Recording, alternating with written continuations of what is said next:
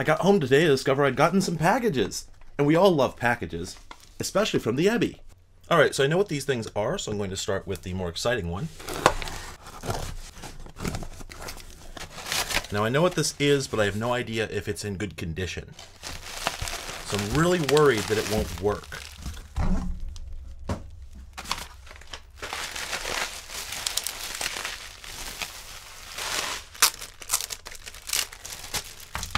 So as you can see, I got myself a tape player, and it's not exactly a new tape player.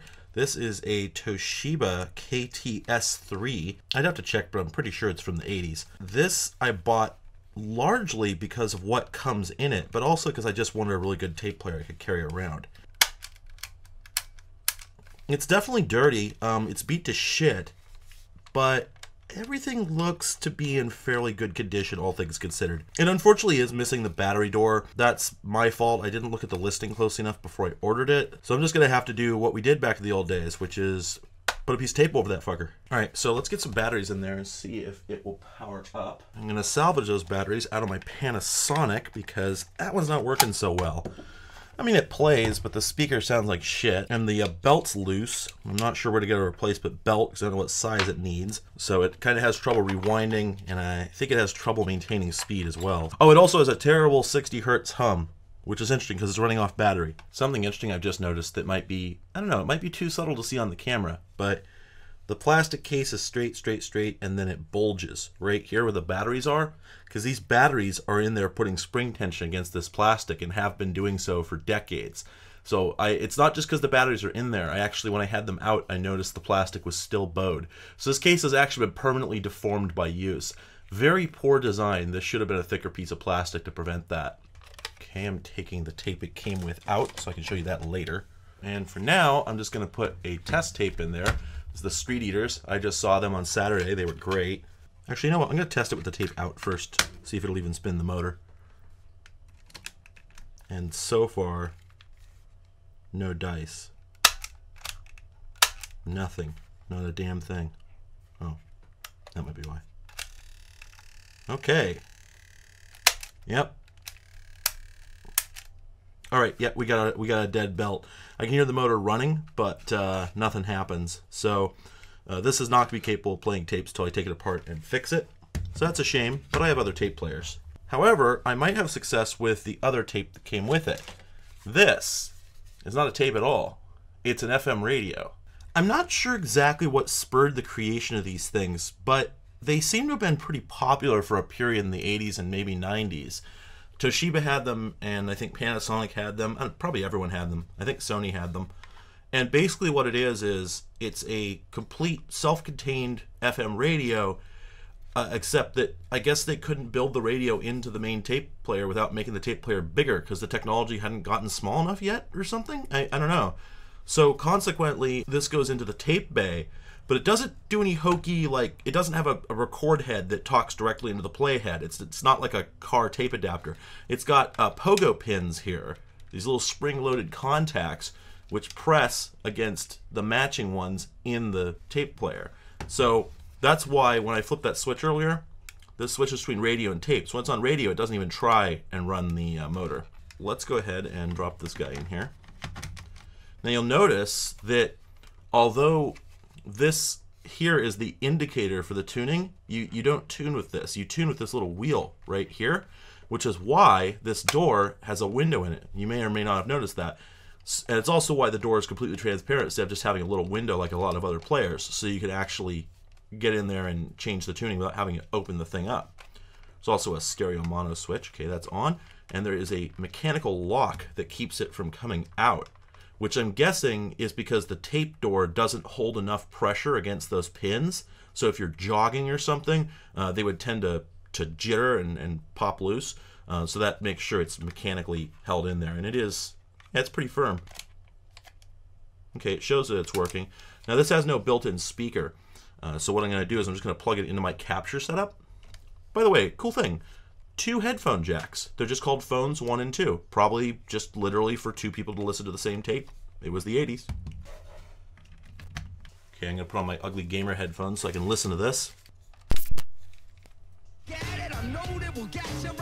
Yeah, there we go.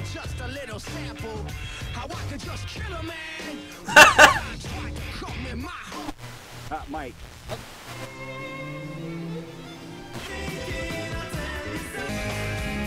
black workhorses. Cindy is in Puyallup. Thank you for listening to 90. Right, so there you go. Uh, it's a pretty good sounding FM radio. I've got no complaints. Set that to one side. I want to open up this box. Let's see what I got here. This is much more unknown.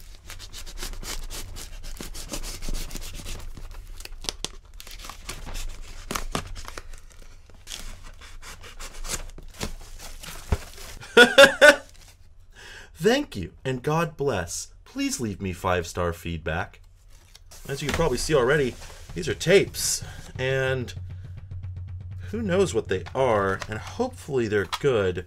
So, there's gonna be a bunch of crap in here because this includes a whole bunch of pre recorded tapes. So, for instance, the Metallica album, Kill 'Em All, yeah, I don't care, um, The Smiths, um, but also a Glory and Praise, Volume 1. This is really what I'm here for unlabeled tape.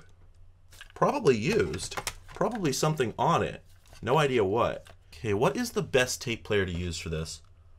I guess probably the boombox. So I'll go get that. Eh, uh, hmm. Uh, maybe I could put this back here. My workbench is not very large. First step to a healthier life. Let's go ahead and put our first tape in. To be forewarned, for the rest of this video, I'm just going to be going through these tapes one after another. I found some interesting things on here, but it's nothing really earth shattering, so I don't mind if you bail.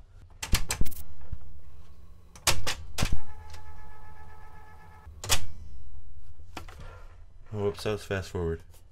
Well, I guess I'll flip it over.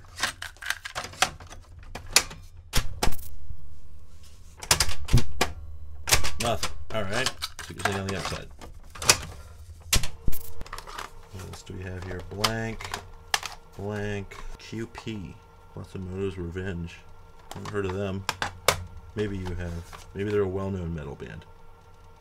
That's my automatic assumption. I'm guessing this is all metal. That's just my automatic presumption. When I get a whole bunch of home recorded tapes, I'm like, it's either going to be hymns or it's going to be metal. Oh, there we go. That's what was interesting to me. I remember seeing this in the listing. DJ number 9, and there's a phone number both a cell phone and a home phone number. Really curious what that is. This tape appears to be blank, so okay. Let's pop DJ number 9 in. It's been played and not rewound. Yeah, these are mostly blank tapes that have been recorded on, so this is exactly what I was hoping for. My dream is to find recordings of like live DJ radio sets and other weird stuff like that that you just can't buy, you can't find for any price.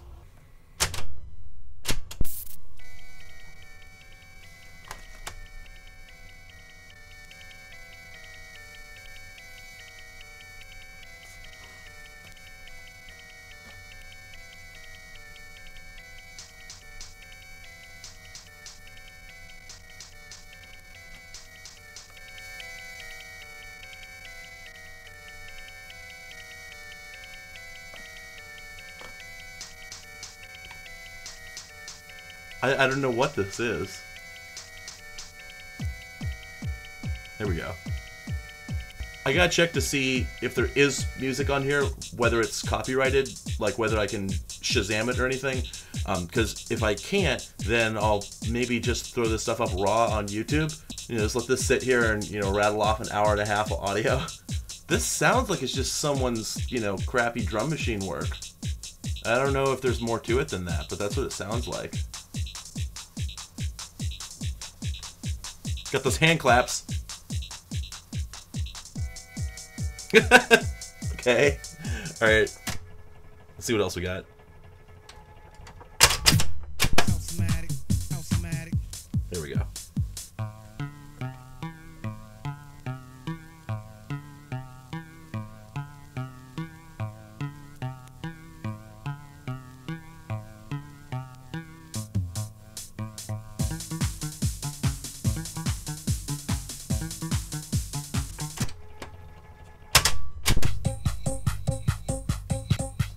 All right, so it sounds like it's just a whole lot of that, which is okay. Um, maybe uh, maybe it ends up being more interesting later, or um, maybe it sounds better if I you know listen to it on a proper system. This is not a great tape player. Um, I've been looking for a good deck for a while, but I didn't have a lot of cassettes. Now I have a lot of cassettes, so it's worth it to bother getting a good deck. Just check and see if there's anything on the other side.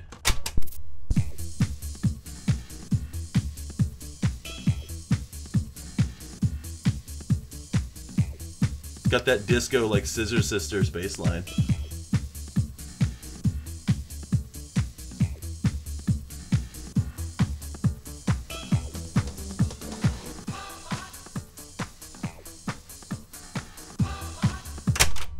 All right, so that's definitely a, a cool tape. Um, it sounds like it might be really mediocre, but I'm gonna give it a better shot later.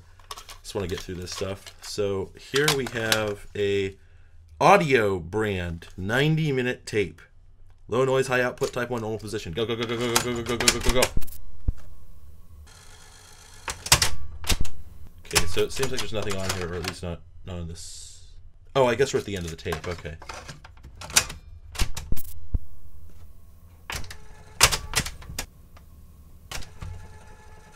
If I wait long enough, she told herself, he might come back. They both might. I think they're out there, just around the corner, just around the point, searching for crabs like they used to. They'll come back in hand, tall Robert, smiling and handsome as ever, and little Mo, trying to keep up on his four-year-old legs and smiling, too, at the father he adored, and everything will be all right. She stood traitor, straighter and gazed out in her So slight, lonely figure. She reading looked to a metronome. cold and somehow beyond recall. Eddie. Well, that's interesting. Glistened the friendly press of people. Something about this particular boombox. Uh, it has a automatic music select system. Who What- is she, I wonder? and I'm not sure what that's supposed to do. What I think it's supposed to do is when you hit fast forward and play at the same time, it's supposed to fast forward until it detects silence and then start playing so you can find the next song easily. But it looks like it's not working correctly, or maybe this uh, s- uh, spoken word is just messing it up. I'm going to check on the other side and see if there's anything different on there. And there isn't. Okay. So again, not uninteresting. That was exactly what I was hoping for. See, I like the idea of going and finding a batch of someone's tapes. I guess I don't know. Maybe some people would see it as privacy invasion, but I figure they threw them away. So if I found anything on here that was really bad, like if I found a recording of someone's breakup or something, I would not share it with people. But for the most part, you know, this is how archaeology works. You know, we go, we find people's journals, we find their diaries, we find their old family photos, and uh, we dig through them and we figure out what their lives were like. I'm sorry. This is the one that says uh, Quasimodo's Revenge, uh, decapitated. This is metal.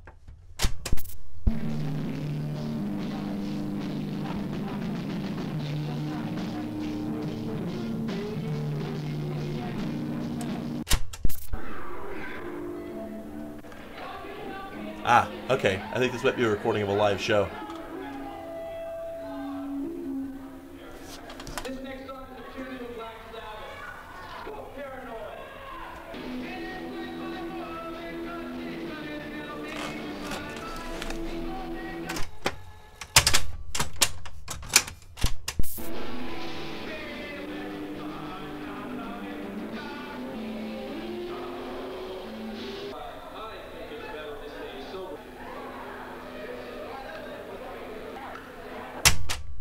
Right, uh, I'm not sure what that is. I can only find one reference online to any band called uh, Decapitated, and I kind of suspect that that's not what that means. I think that's either an album or a show or or something.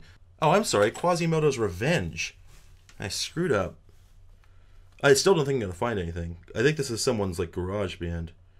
I can't find anything for this, so I don't think this is a real band, as it were. So that's exciting. I'll Probably get a full recording of that later. Papa Jazz, Columbia, South Carolina, where it was purchased. Okay, alright. I thought at first from the design that this was like some Wagner or something, but no. This is some band's crappy tape for booking or mail order call Swell.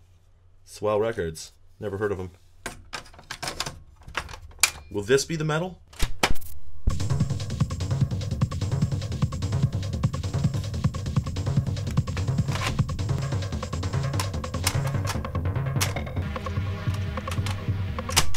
Right, so it's the other category of music. Uh, crappy metal or crappy dance music. And we got the other one. All right, so I'll set those aside. Oh, hey! A tape head cleaner. Let's see if it still works.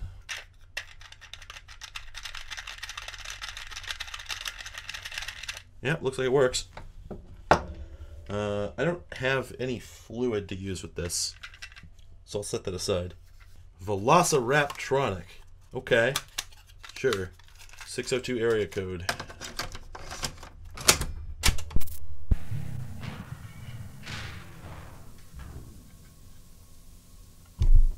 Did my tape player just seize? Oh, there we go.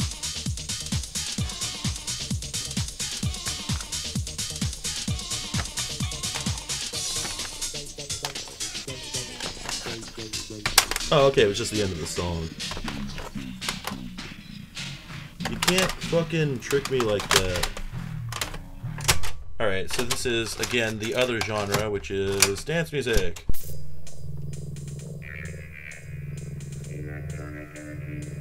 Hell yeah.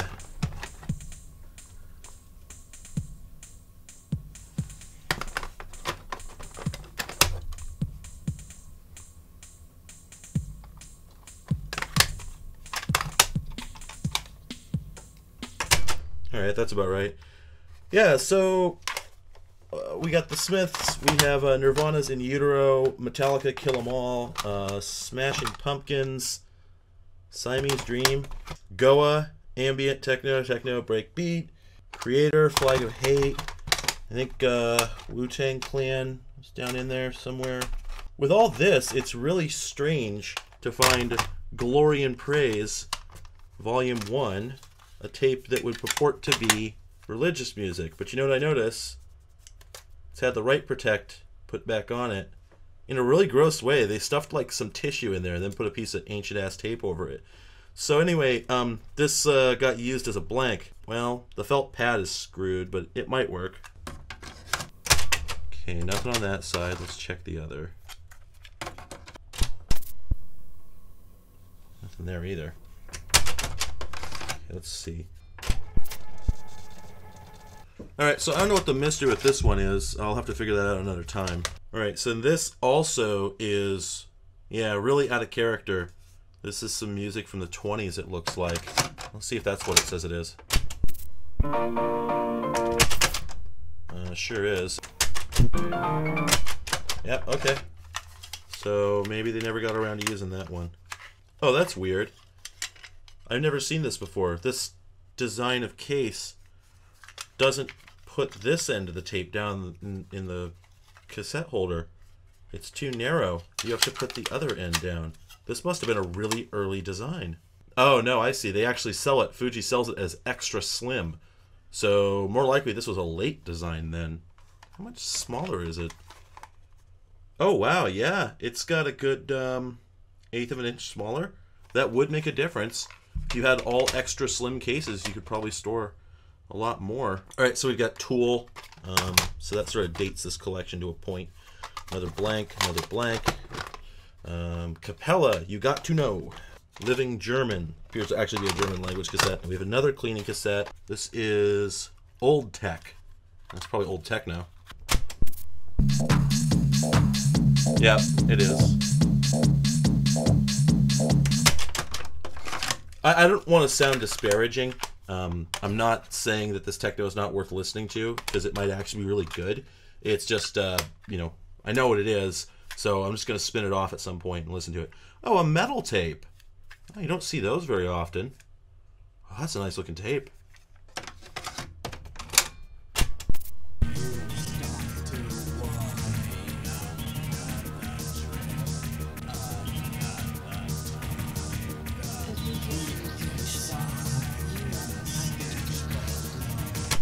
Alright, so I don't know what that is, but that sounds cool. There's our metal. See, I knew there'd be metal in here. Uh, Deutz? Oh, Enya. Klein, Gumby, Various. God, these are filthy. These tapes are super dirty.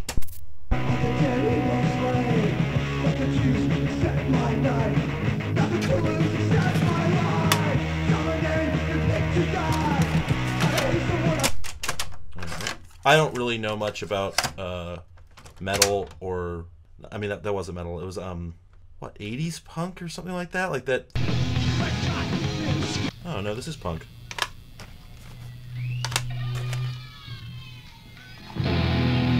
Why don't the club owners hire Yeah, germs enjoy. Mm, we do get shows occasionally, but it is getting harder.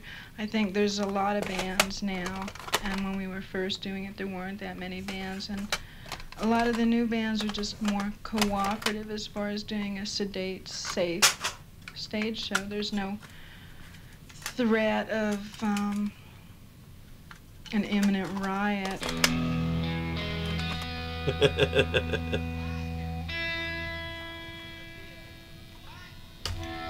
One of you give me a beer.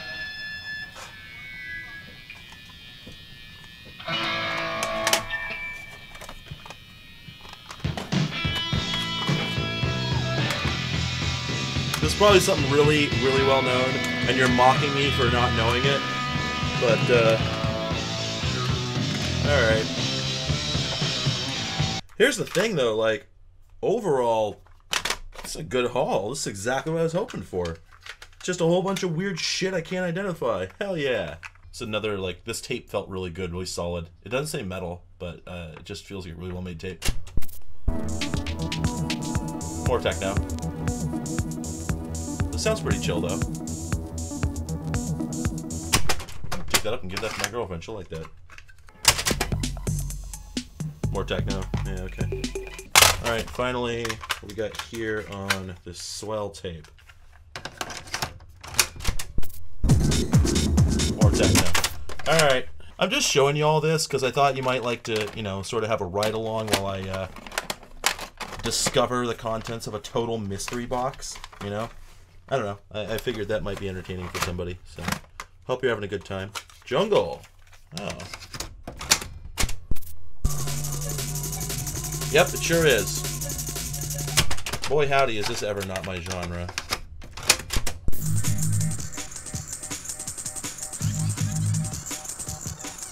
Okay, that's a better beat.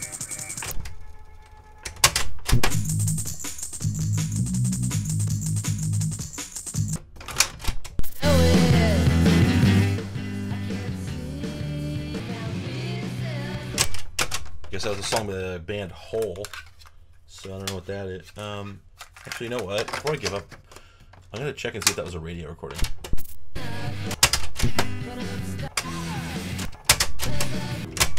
All right, so that was also a whole song. So that's probably just an album rip. It's actually classical music.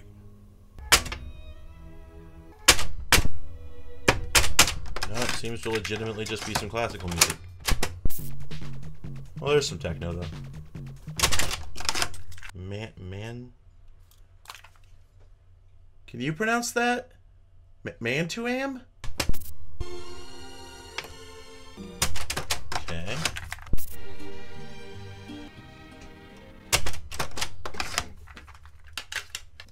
Oh, hi, hi, Gibbs. Gibbs, you're not helping. Gibbs, I do not need you here. Oh, Gibbs, you're filthy. Look at you. You've got dirt all over you. he has been trying to get on my lap for the last two hours. And he finally got what he wanted. Alright, Gibbs. I love you, but it's time to go. You're so difficult. Alright, uh, what haven't we touched yet? Oh, I've been curious about side two. It just says side two. Side one. Okay. It's probably a CD or an LP rip.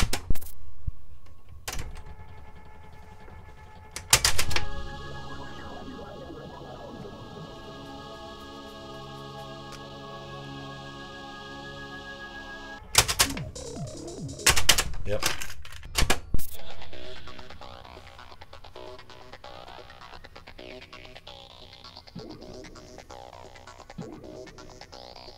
It's just called music for listening, music for the soul.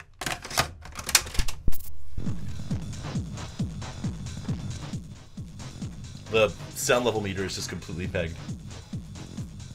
Okay, so if that's music for the soul, what's music for listening? Oh, that's fair. I googled music for listening, music for the soul, and I didn't get any results. So I don't know what it is, but stigma ripped. More techno. Okay. So yeah, uh, that was pretty much exactly what I hoped for. I couldn't really ask for more. I ordered a box of random tapes off the internet, and I got a whole bunch of someone's actual personal collection, not just a crap load of Gibbs. He's making a mess of my room still, and he won't. He won't respect me. Anyway, at least this collection wasn't just a whole bunch of pre-recorded commercial tapes. I got something that's real that actually represents a life that someone had. Uh, I'd call this a win, and I think I only paid like 20, 30 bucks for it. So uh, I think I came out on top in, in lots of ways. Since he's not going to let me record any more video anyway, uh, thank you very much for joining me, and I hope you had a good time.